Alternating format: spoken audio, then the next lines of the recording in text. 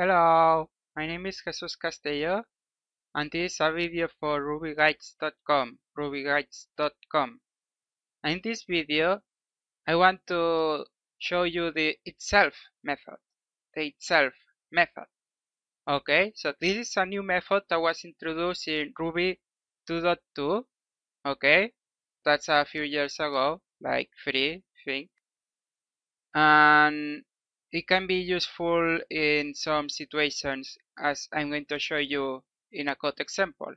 So let, let's switch right away to my screen. And here's my screen and we're talking about itself method. Okay, so it's a method. And you might be familiar with something else called self. Self. So self is a keyword. Okay, it's not a method, it's a keyword.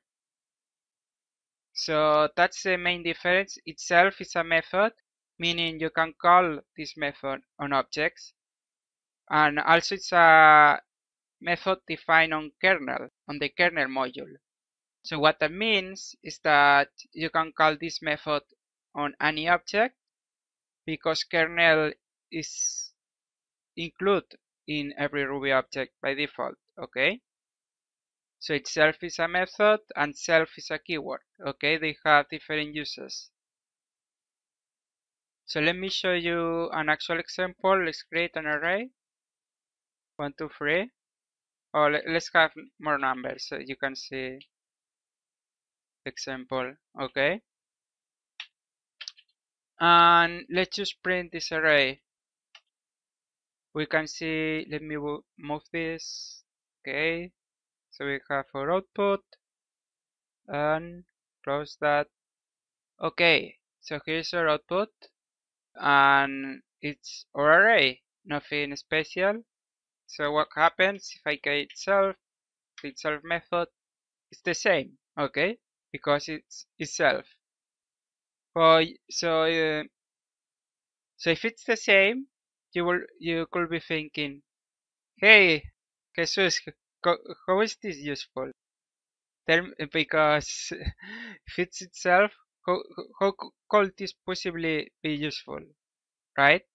It's the same thing. Well, there is some cool tricks you can do with this method. And that's why it exists. Okay? And the real trick is to combine it with other methods.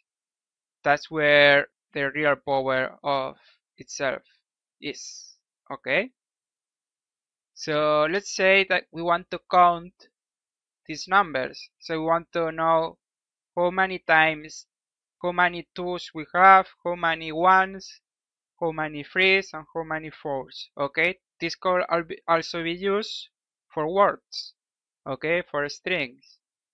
For counting strings so how do we do this? Well, we're going to need the assistance of my friend the method group by. Okay, so this is an enumerable method and it's going to help us count these numbers. Okay, so I'm going to use the shortcut syntax. Okay, and the itself method. So all of this is saying is call the itself method on every element of the of the array. Okay. So in practice what this we do is one itself, two itself, okay? So this might look silly, but look look what happens now okay when I print this so let me remove this and now print the results this group by itself. Okay and also I like how this reads I like how this reads.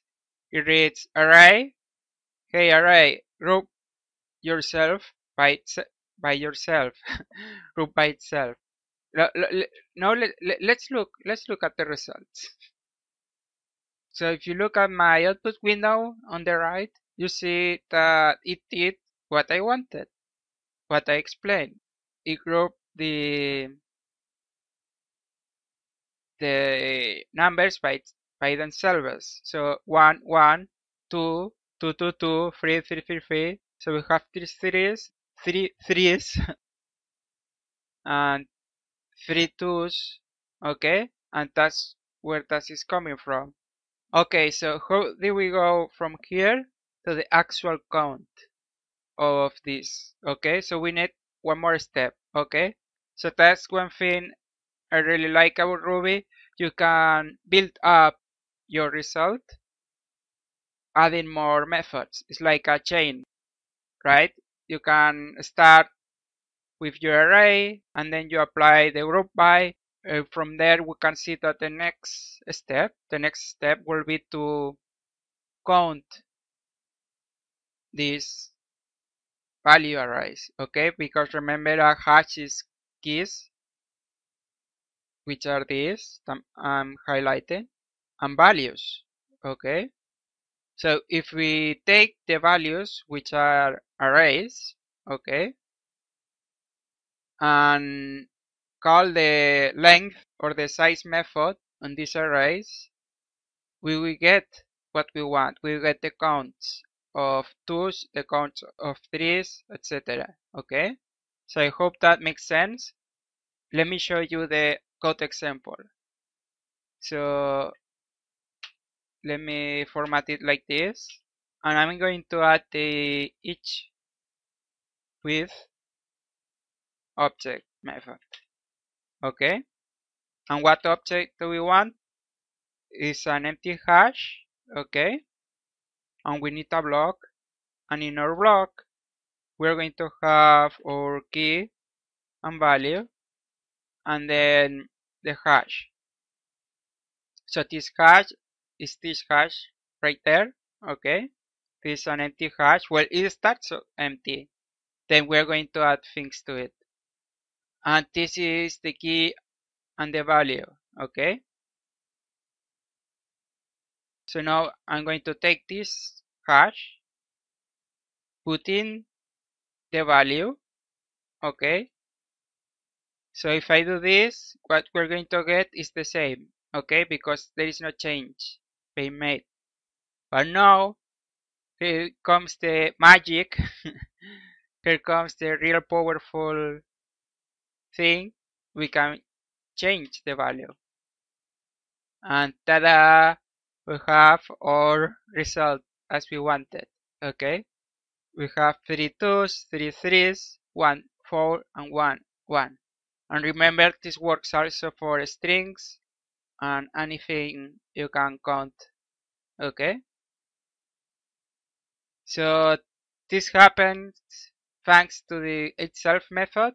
Okay? And the group by and each with object methods. So you have three methods, three methods in this video. You have itself, group by, and each with object. Okay. So I hope you found this video useful. Okay.